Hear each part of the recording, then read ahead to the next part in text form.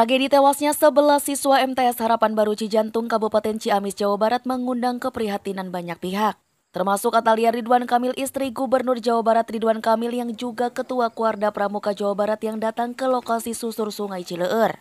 Atalia datang langsung ke Lewi Ili Sungai Cileur, Desa Utama Kecamatan Cijengjing, lokasi tenggelamnya 11 siswa MTS Harapan Baru pada Sabtu 16 Oktober 2021. Pada kesempatan tersebut, Atalia didampingi Bupati Ciamis Herdiat Sunaria menyempatkan diri melihat lokasi kejadian. Atalia mengaku kaget saat di lokasi lantaran tidak ada penghalang sebagai pengaman sungai padahal sungai tersebut sudah merenggut 11 nyawa.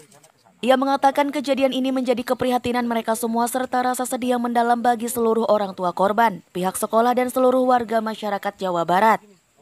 Kegiatan susur sungai yang dilakukan MTS Harapan Baru tersebut bukan termasuk dalam agenda gugus depan kuartir daerah. Selain itu, kegiatan susur sungai tersebut bukanlah bagian dari kegiatan ekskul kepramukaan, namun kegiatan kepanduan mandiri yang rutin digelar oleh pihak sekolah.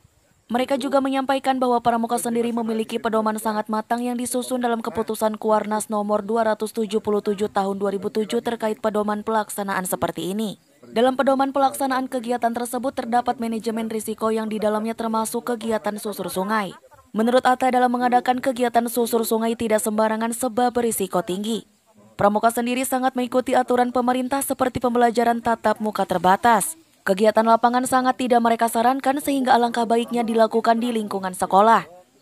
Atalia menambahkan apa pun yang terjadi saat ini merupakan musibah yang tidak bisa dihindari. Namun menjadi contoh agar ke depan tidak ada lagi korban jiwa akibat kegiatan susur sungai.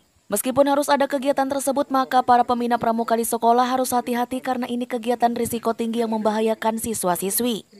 Ia mengatakan atas nama pemerintah dan masyarakat Jawa Barat turut bela sungkawa sedalam-dalamnya atas musibah meninggalnya 11 siswa-siswi MTS Harapan Baru Cijantung. Sementara itu, Bupati Ciamis Herdiat Sunaria saat mendampingi Atalia mengatakan kejadian ini menjadi pembelajaran bagi semua pihak. Mereka berharap kejadian ini tidak terulang lagi ke depannya dan mengimbau kepada seluruh sekolah stop kegiatan berisiko di luar sekolah. Mereka menyayangkan di lokasi tenggelamnya siswa-siswi MTS Harapan Baru Cijantung tidak ditemukan alat pengaman. Sesuatu yang menjadi keprihatinan kita semua dan tentu ini menjadi rasa pedih, ya, rasa sedih bagi semua pihak, termasuk uh, saja orang tuanya, kemudian juga tentu pihak sekolah, termasuk juga masyarakat Jawa Barat secara keseluruhan termasuk kami di Kuada Pramuka Jawa Barat.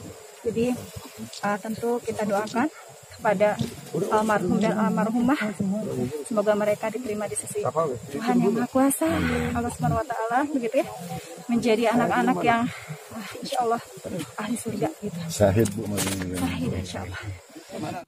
Eli Suherli, Harapan Rakyat, Ciamis.